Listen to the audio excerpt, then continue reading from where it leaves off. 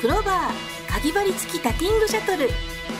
ピコットをつなぐ時などの糸を引き出す作業に便利なかぎ針が先端についたタティングレース用のシャトルです。角の代わりにかぎ針がついているので確実にピコットから糸を引き出せます。角で糸を割ってしまったりピコットが小さくて穴から糸を出すのに手間取るのが解消されます。かぎ針でピコットを引き出している場合はシャトルからかぎ針に持ち帰る手間と時間が短縮されます。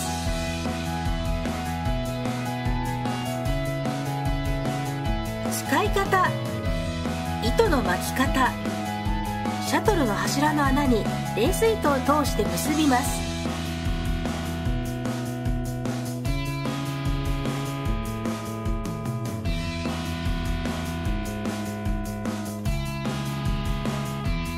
シャトルを左手に持ちレース糸を手前から向こう側に均等に巻きます。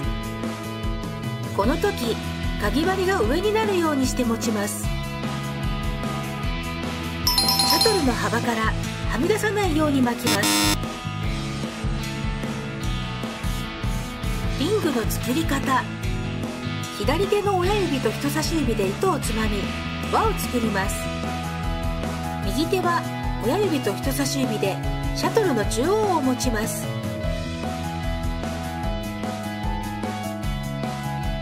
基本の結び方。表目と裏目のセットで一目になります。表目と裏目のセットを繰り返します。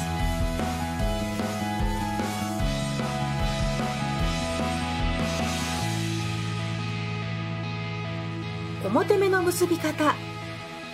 シャトルを持った右手の糸を小指側から手の甲の上へ回します。シャトルを指で持ったまま左手にかかった糸の下側をくぐらせます。左手にかかった糸が右手の人差し指の腹とシャトルの間を通ります。シャトルで糸をくぐらせるときシャトルから指を離さずに行うとスムーズな動作になります。くぐった糸の上を通り右手の甲にかけた糸の下をくぐってシャトルを右に引き右手の甲にかけた糸を外します。左手の中指を曲げて糸を緩めシャトルを引いて右手の糸をピンと張ります。左手の中指を伸ばしてできた目を人差し指の先まで引き寄せます。表目に続いて裏目を結びます。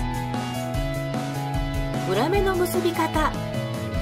シャトルを指で持ったまま左手にかかった糸の上側を通します。左手にかかった糸の下側からシャトルをくぐらせ右に引きます。表目と同じようにシャトルを引いて右手の糸をピンと張りできた目を引き寄せます。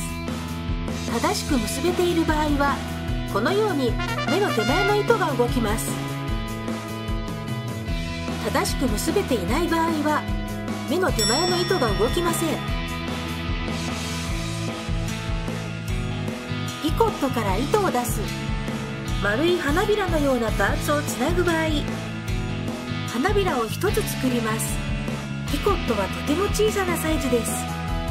2枚目の花びらを作る途中でピコットにつなげます。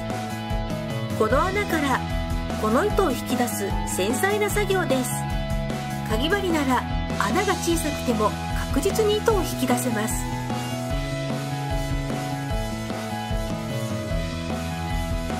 便利なかぎ針がついたかぎ針付きタティングシャトルで快適な作品作りを楽しんでみませんか？